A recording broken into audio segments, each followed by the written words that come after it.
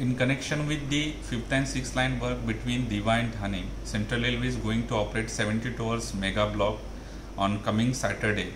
And this block will be operated in coordination with Mumbai Rail Vikas Corporation.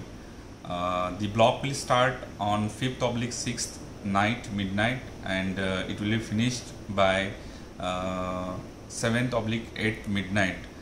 During the block period, uh, the uh, trains will be operated on the slow corridor, but uh, the block will be operated on the fast corridor between and Thane.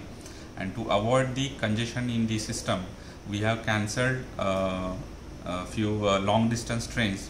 The details of these long distance trains is available on the Central Railway website that is cr.indianrailways.gov.in and also uh, it is available on all social media platforms of Central Railway.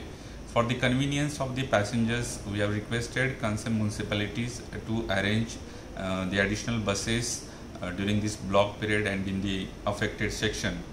And uh, uh, to avoid the congestion in the section, again uh, we have changed timings of MEMU services in Diva Vasai Panvel section.